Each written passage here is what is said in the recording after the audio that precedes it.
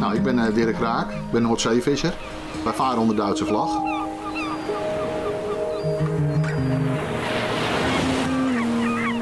Ik ben uh, Cor Vonk.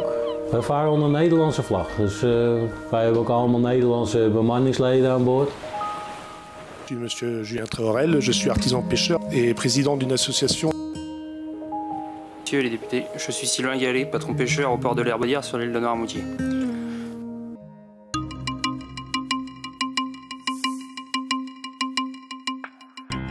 Transporting thousands of metric tons of steel and technology from land to an offshore site many kilometers from the coast. Begint eerst met een, uh, met een toren, met een boortoren, uh, iets. En dan uh, steeds meer bootjes erbij. En dan ja, steeds grote, hele grote schepen met heel veel CO2-uitstoot. Die komen ook nog. is eigenlijk, het wordt één industrieterrein is het, is het eigenlijk. Het negatieve effect van offshore windparken in de Noordzee, dat is nu eigenlijk al merkbaar. Bijvoorbeeld in de Duitse bocht, en dat is het oostelijk deel van de Noordzee. De, de demersale soorten zoals platvis, de school, de tong, die zijn daar bijna geheel verdwenen. Dus dat zijn de gevolgen van een windpark. Als je een, soort, een paal in de grond slaat, houdt het water tegen. Dus je verandert die stroming. En dan kan je een soort turbulentie kan je krijgen onder water. Dus de, de, de bodemstructuur gaat ook veranderen. En die vis is gewend om, om, op een bepaalde sedimentlaag te leven. En als die verandert of wegspoelt of ja, verstoord wordt, dan, dan verander je die vis zijn habitat. Dus die vis gaat daar weg. Die gaat dus echt uit dat windpark vandaan. Het Noordzeesysteem, het ecosysteem is eigenlijk in balans met zijn huidige gebruikers. En omdat er op dit moment een goede milieutoestand is op de Noordzee, en wij dit zo willen houden, moeten we vooral kritisch gaan kijken naar toekomstige gebruikers. Die een negatieve invloed kunnen hebben op het Noordzee-ecosysteem. En dan bedoel ik met name de offshore windparken. Ze zeggen de Noordzee, daar zwemt geen vis of dat daar, de biodiversiteit is heel erg slecht. Maar er zijn 1230 soorten die leven er in de Noordzee. Nou, visserman ben je erg begaan met de natuur. Omdat ik er ook mijn bestaan heb. Het is voor mij ook belangrijk dat de visstand hè, dat die intact blijft en dat het ecosysteem niet wordt verstoord.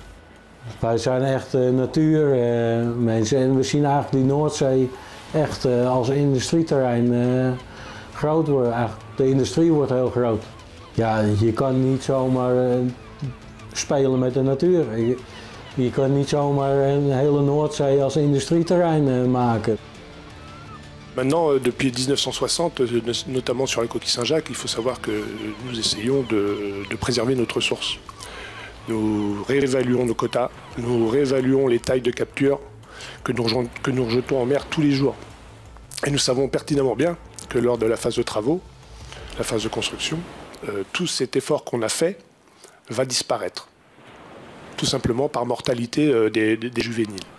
Donc on se dit quand même que tout ce travail qu'on fait depuis des années, tout ce chiffre d'affaires indirectement qu'on remet à l'eau pour pouvoir toujours mieux exploiter l'année d'après, ben, il va nous être enlevé comme ça, d'un claquement de doigts.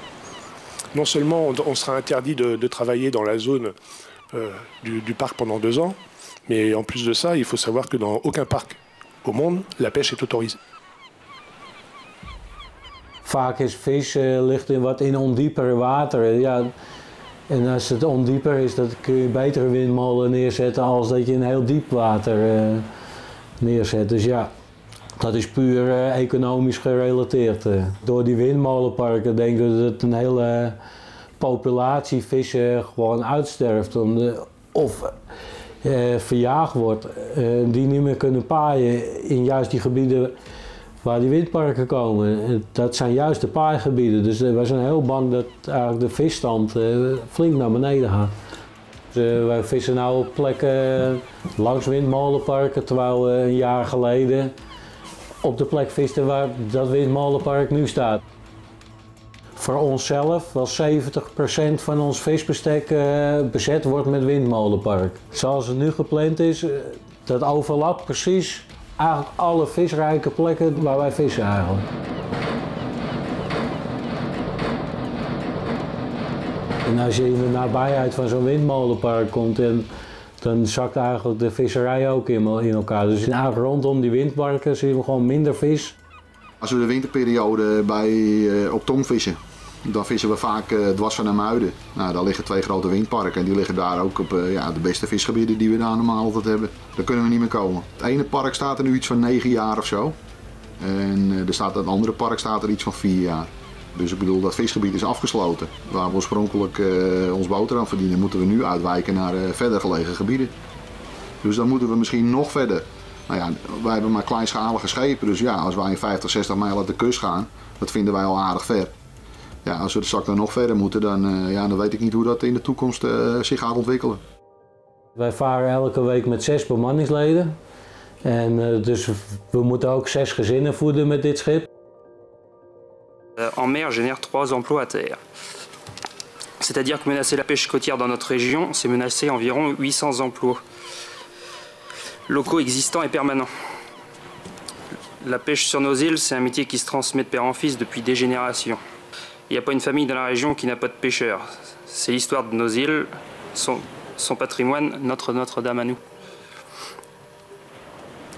Ce sont les ports de pêche, les petites maisons de pêcheurs, les produits frais de la pêche consommés sur place qui font venir le touriste qui risque de partir avec nous si, ce projet voit le jour. Ces projets voient le jour.